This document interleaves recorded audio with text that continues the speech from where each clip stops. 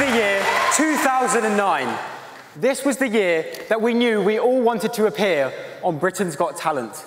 We were all still at school. We thought tonight it would be very fun to share with you some of our favourite memories from our school days. David, one of the games we used to play at school was Scrabble. My teacher said it was a fantastic educational game. I would like you to think of any five, six, or seven letter word. Would you please do that for me now? Just one word, yeah? Just one word, yeah? Okay. And using the Scrabble tiles just in front of you, just pop them in the holder to spell out your word. Have I got a bit of time to do this? Thank you. I'm not as clever as you might think I am. Amanda, I've got some flashcards. You can see all of them are completely different. Yep. Amanda, would you be kind enough? Could you please cut them roughly in half Thank you very much. I'm going to give you the top three flashcards that you cut to. There's one, two, and of course 3 mm-hmm. Can you slide any one of them across to Alesha? And please do not look at them just yet. Thank you. Finally, Simon. Yes. Me and all my mates used to watch videos of BGT after school. The other day, I actually made a list of my favourite 100 acts. In front of you is a barrel of bingo balls. They are numbered from 1 to 100. Can you please just reach in there and remove out any number for me? I got it. Now, Simon, I'm going to give you one chance. If you want to change your mind and pick a different number, can you please do so now? Nope. Nope. Right. Um, so, Simon, for the first time, can you read? can you read aloud the, the number you've chosen, please? Number seven. Number seven.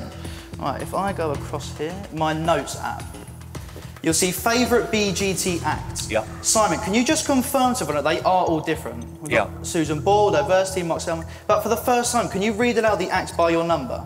It's Stavros Flatley. One of my favourite acts of all time, Simon. It's a great choice. David, just a moment ago, I asked you to think of any word in the English language. Yes. Could you please, for the first time, say your word out loud? How many letters was it again? It's oh. five. Five. I wrote doors. Doors. Doors. In fact, I wrote just one word on the back of this whiteboard, and wouldn't it be amazing if that word was in fact the word doors?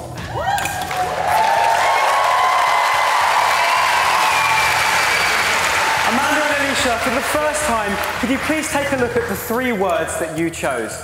Now, my psychology teacher actually taught me how to read people, so please just focus in on those words. I'm starting to get a feeling about this. Now, it's really important that you both place your full concentration onto these words and really try to get a very vivid depiction in your mind. Uh, I'm going to commit myself to these three right here.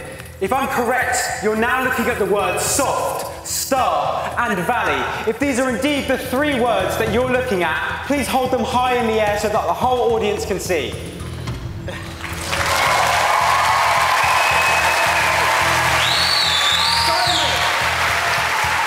Simon, the act you chose was Stavros Flatley. Now, what if I told you we predicted this all along? Think back to the year 2009. That was the year all of us wanted to appear on Britain's Got Talent. 2009 was also the year Stavros Flatley appeared on this show. You may think this is a coincidence, so we knew you would need more proof.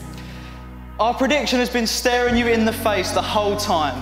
Look at the three words Amanda randomly selected soft, star, and valley. They are actually a perfect anagram of Stavros Flatley. Let me show you.